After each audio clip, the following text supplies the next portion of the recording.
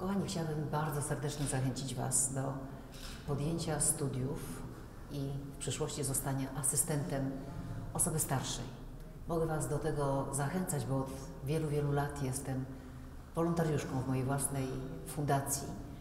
E, Możliwość pracy z innymi, dla innych, dla mnie jest rzeczą ogromnie ważną. Nie jesteśmy samotnymi wyspami, nie żyjemy dla samych siebie.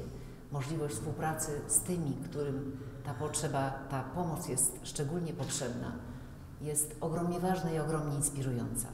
Ja wiem, że w przyszłości takich osób, które chciałyby podjąć się em, asystowaniu starszym osobom, opiece i pielęgnacji jest ogromnie duża.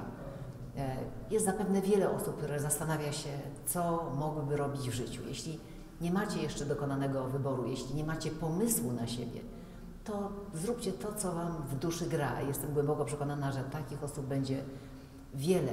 Niesienie pomocy tym, którzy jej potrzebują, jest darem niezwykłym. Jeśli taką umiejętność współpracy z osobami w trudnym położeniu macie, wybierzcie ten kierunek. A ja trzymam za Was bardzo mocno kciuki.